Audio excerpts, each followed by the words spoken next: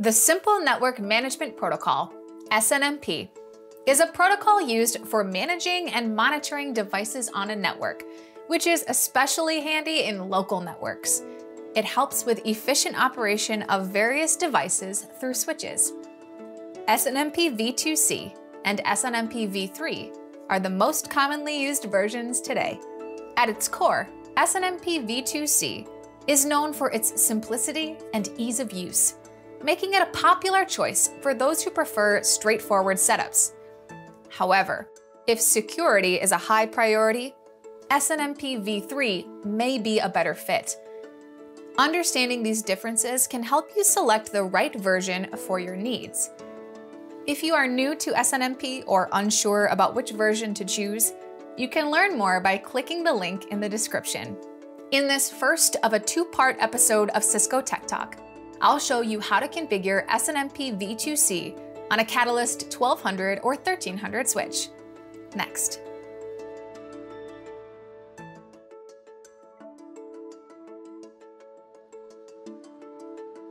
Log into the Graphical User Interface, GUI, of your switch.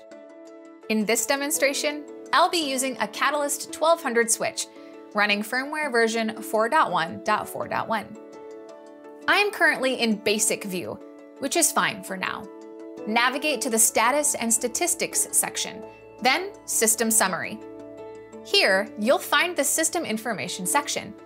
It contains the data to collect using SNMP. The information includes system description, location, contact, host name, object ID, and uptime. Configure the system location, system contact, and host name parameters so that these changes reflect in the System Management Information Base, MIB, results after configuration and SNMP testing. Next, access the Administration section and select System Settings. Here, you can configure the system location, system contact, and host name values. Either use the default values or enter custom ones. I will configure these parameters to demonstrate how they work, and click Apply. Return to Status and Statistics, then System Summary to confirm that the information has been updated with the newly configured values. To activate SNMP, go to Security and then TCP UDP Services.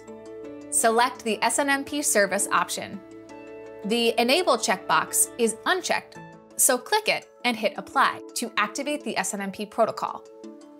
Under Service Name, you will see SNMP listed. Port 161 will be open in the UDP service table below. To configure SNMP version 2, switch to the Advanced view in the GUI.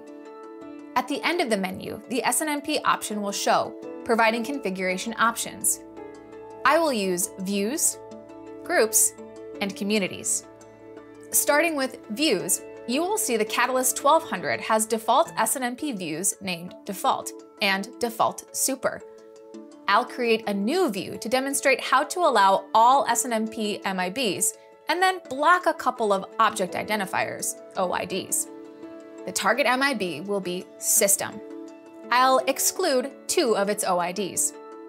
Click the plus icon to create a view Enter a name for the view to identify it and its purpose.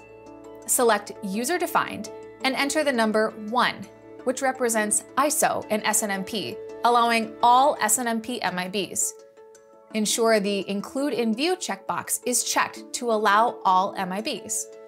Click Apply when ready. Next, I'll exclude the two OIDs from the system MIB so they don't appear in the SNMP polling. Enter the view name again select User Defined, and type the OID value to exclude.